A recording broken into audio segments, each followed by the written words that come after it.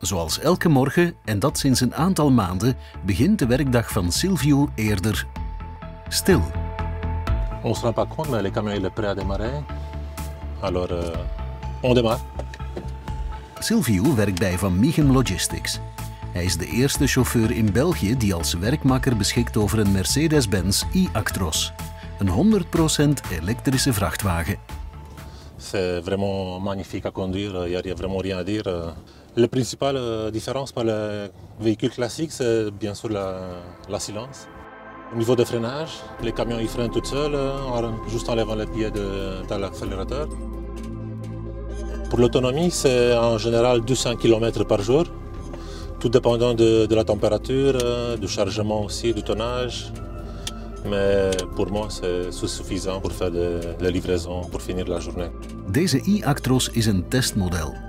Van Mieghem Logistics maakt deel uit van een handvol Europese transportbedrijven die er een gebruiken in reële omstandigheden voordat hij op de markt komt.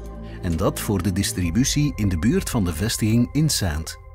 Depuis le début du test, au mois de septembre, on a fait plus ou moins 11 000 km déjà avec pour une livraison plus ou moins 600 clients.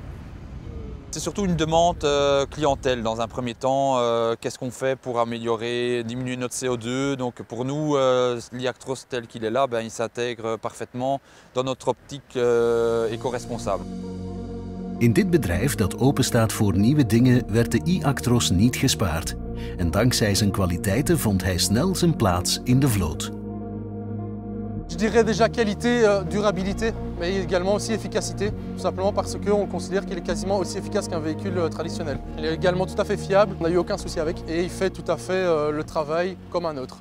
En effet, le retour est positif et on arrive à la fin de cette première phase d'essai chez tous ces transporteurs partenaires. Et aujourd'hui, on rentre dans la phase de déploiement commercial qui commencera dans les prochains mois.